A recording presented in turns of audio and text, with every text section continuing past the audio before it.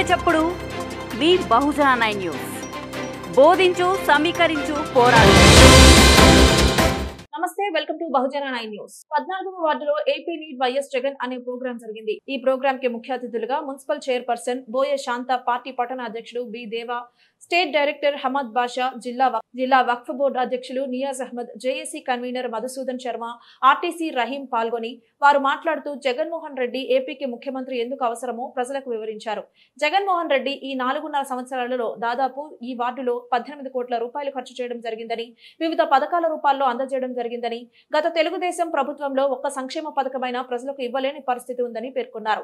కేవలం వాళ్ళ పార్టీ కార్యకర్తలకే ఆ పథకాలు అందించారు. జగన్మోహన్ రెడ్డి పార్టీలకు అతీతంగా ఈ కార్యక్రమంలో municipal assistant commissioner Anupama ward incharge Sikandar Mohammed Swamy Balaji Anand Chalapathi Tippu Shekshavali Tayanna Chand Basha సచివాలయం సిబ్బంది తదితరులు పాల్గొన్నారు. ఇబ్బందిని ఆ లోటును కరోనా లోటును కనబడకుండా చేయడం జరిగింది. ఆ విధంగా రెండు సంవత్సరాల పాటు మన రాష్ట్రం ఒక్కటే ఎక్కువగా ఇబ్బందులు లేకుండా కష్టాలు పడకుండా ప్రజలందరూ కూడా ఎంతో కొంత ఆర్థిక అప్పులు తగ్గించుకొని గట్టెక్కగలిగారు. మిగతా రాష్ట్రాలంతా కూడా ఈ సంక్షేమ పథకాలు లేక ఇటువంటి ముఖ్యమంత్రి లేక దేశమంతా కూడా విలువల్లో ఆడిపోయింది. అటువంటి సమయంలో మన జగన్మోహన్ రెడ్డి గారు మనకు ముఖ్యమంత్రిగా ఉండడం మనందరం చేసుకున్నటువంటి అదృష్టమని తప్పకుండా చెప్పాల్సి వస్తున్నటువంటి పరిస్థితి.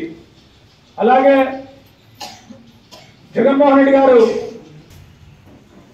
ముఖ్యమంత్రిగా చంద్రబాబు నాయుడు గారు రాష్ట్రం విడిపోయినప్పుడు సీనియర్ నాయకుడు అనుభవజ్ఞుడు ఆయన రాష్ట్రాన్ని అభివృద్ధి చేస్తాడనేటువంటి నమ్మకంతో ఆయనకు ముఖ్యమంత్రిగా అధికారం ఇస్తే వేల కోట్లు దోచుకొని దాచుకొని అవన్నీ కూడా ఆ అవినీతి అంతా కూడా పట్టబయలై ఇప్పుడు చేరుకుపోయినటువంటి పరిస్థితి.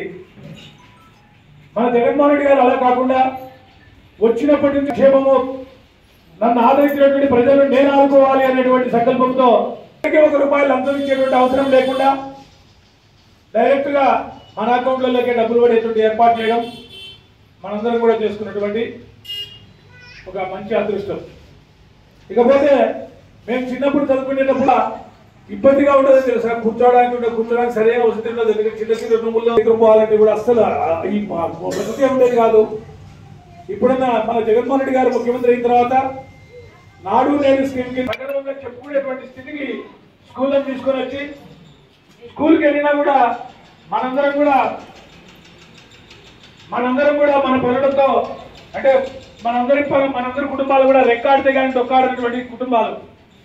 కాబట్టి మనం ఏదైనా పనులకు మన పనుల కోసం మనం బయటికి వెళ్తే కూడా మన పిల్లలు స్కూల్కి వెళ్తే వాళ్ళు తిన్నారా లేదా అనేటువంటి ఆలోచన కూడా మనకు అవసరం లేకుండా మన పిల్లలకు రోజు ఒక రకమైనటువంటి మెను అంటే భోజనం ఒక- రోజుకు ఒక రకమైనటువంటి భోజనం. కాన్వెంట్